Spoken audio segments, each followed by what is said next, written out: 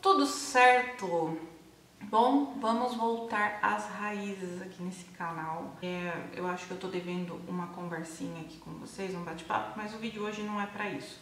Hoje eu tô vindo falar com vocês de uma paletinha que eu conheci recentemente e fiquei encantada. Achei ela muito linda, porém o que, que eu fiz?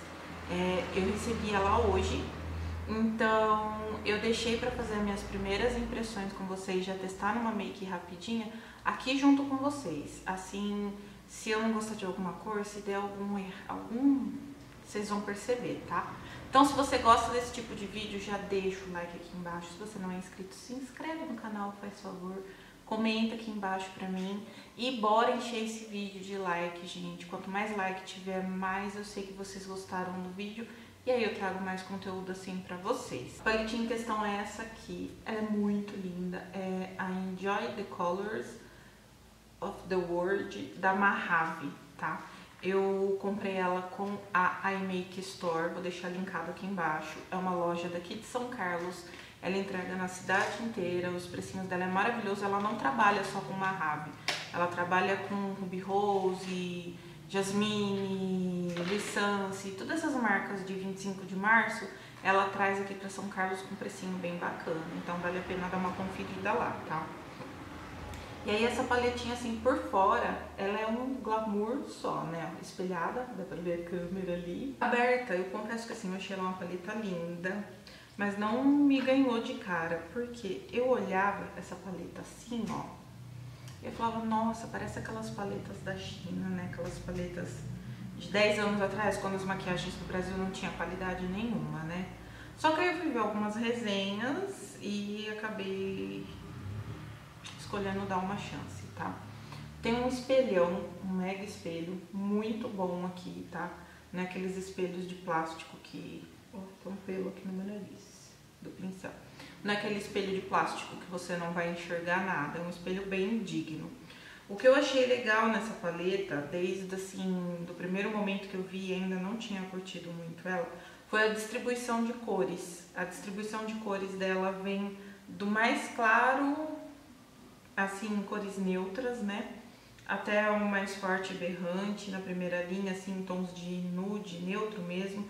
Depois faz uma fileiria vindo no coral, para aí depois estourar as cores e são cores lindas, tem desde do amarelo, laranja, azul, verde.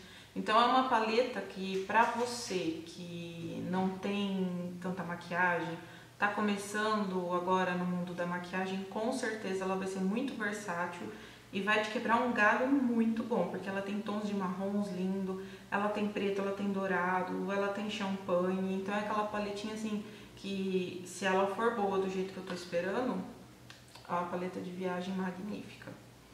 Ela tem 32 sombras, como eu falei, dispostas entre tons neutros e tons muito coloridos. Ela não tem cheiro, assim, é que eu sou meio chata com cheiro. Ah, cheiro de maquiagem, sabe? Não é cheiro de talco, nada. Cheiro de maquiagem, ou seja, não tem cheiro. 20 cores mates então, 12 são com brilho, são shimmer. Não chegam a ser holográficas nada não, elas são umas sombras shimmer. E as outras 20 são mate. É o que dá uma possibilidade boa. Dá pra fazer aquela brincadinha de... Brincadinha. Dá pra fazer aquela brincadeira de fazer um côncavo marrom e pôr a cor só aqui no canto. Dá pra fazer muita coisa. Dá pra gente focar aqui no canal e trazer, sei lá, várias mix com uma paleta só, não sei dizer pra vocês. Ela tem um peso bacana, tá? E eu pesquisei na internet, o valor dela vai de 49 até 65 reais, depende muito da região onde você vai comprar do vendedor. É, aqui em São Carlos ela tá 60 reais, o que é um valor bem legal. Se você dividir 60 por 30, dá dois reais por sombra, custo-benefício maravilhoso, né? Então, embalagem dela super aprovada, distribuição de cores maravilhosa, não ficou aquela zona como muitas marcas fazem com as sombras, que fica um azul aqui, um lá, um verde, um amarelo, um roxo, sabe? Aprovei, amei essa distribuição de cores. Vou fazer um swatch rapidinho antes de começar a fazer um teste. Eu peguei o amarelo, Peguei um marrom rosadinho. Vou pegar o preto, que o preto sempre é uma sombra que dá trabalho. E vou pegar o dourado mais forte para fazer esse swatch de início. Eu sempre cago na hora de fazer os swatches, né? Ainda mais com pulseira, mas...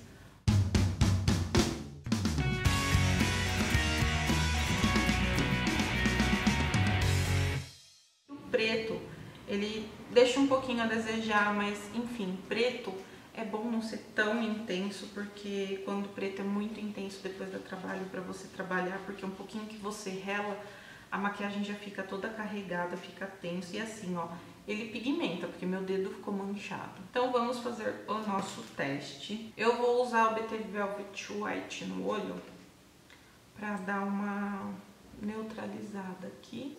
E ajudar a intensificar a cor dessas sombras. Isso é, uma, é um ótimo uso pro BT Velvet. Ele como intensificador de sombra. Se for sombra colorida, você usa o branco. E se não for, você usa das demais cores. Né? Eu vou começar esfumando com esse laranjinho aqui. Pra ver, ver se não vai cair, ver se ele vai pigmentar bem. Eu vou depositando e vou esfumando pra ver o degradê que ele vai criar. E o bom de colocar uma sombra branca por baixo, tipo o BT Velvet, é que olha isso. O degradê da sombra vai muito mais fácil. Bom, por enquanto achei que tá pigmentando bem ok a sombra. Esse marronzinho rosado aqui. E vou depositar aqui. O tom marrom mais clarinho caiu aqui. Não foi muito, mas caiu. Vou pegar o pincel que eu passei pó para tirar antes que manche a olheira. E esse tom de lilás aqui. E vou esfumar o côncavo da parte interna para trazer um toque de outra cor aqui. Eu vou passar esse roxo aqui, só que aí eu vou aplicar com o dedo, porque o dedo vai pegar melhor o brilho, pra gente poder testar do que pincel. Além do pincel, quando você vai usar sombra shimmer, tudo, fazer mais sujeira, ele não entrega o brilho real que a sombra possa ter. Eu vou vir no beijinho clarinho que tem aqui no cantinho, e vou iluminar aqui o cantinho da lágrima. Nossa, que lindo essa sombra para iluminar. Até agora eu não tenho o que reclamar de nenhuma das sombras dessa paleta. Elas são super pigmentadas, com brilho lindo. Olha que manteiga lindo para iluminar. Que arqueada que deu na sobrancelha linda. Resolvi que como eu coloquei roxo, eu preciso acho que dar um pezinho a mais nesse olho. Então eu vou pegar essa sombra roxa que tem aqui e vou colocar no fim do olho aqui, meio que em diagonal, encontrando o roxo com brilho. Aí pra construir cor já não tá sendo tão bacana, ó. A cor já não tá pegando por cima do... Ah, agora pegou. Agora pegou, eu não tinha pego a sombra direito. Sabe quando a sombra tá bem seladinha e e não solta na primeira esfregada do pincel. Agora pegou. Vou tirar o excesso porque as sombras mates estão caindo no olho, estão caindo na pálpebra inferior. Na parte de baixo, vou aproveitar vou usar o BT Velvet. Vou usar o BT Velvet azul na linha d'água. E aí embaixo eu vou passar um azulzão, que é esse aqui, ó Pra deixar essa make bem, bem colorida. E se você tiver essa parte de baixo gordinha, desce bem o esfumado que dá uma, uma disfarçada nesse gordinho do olho. Aqui temos a nossa maquiagem. Vou fazer delineado e colar cílios postiços agora. Bom, voltei, voltei montando cílios colado, maquiagem feita. Vamos para as considerações finais da paleta, o que eu acho, se vale ou se não vale a pena. Bom, como eu disse, essa paleta custa 60 reais e ela vem 32 sombras. Fazendo as contas, dá 2 reais por sombra. Eu acho que pelo custo-benefício a paleta tá mais do que aprovada. O único ponto nela que me incomodou um pouco, mas para mim, Carla, não é um problema. Para algumas pessoas pode ser que seja.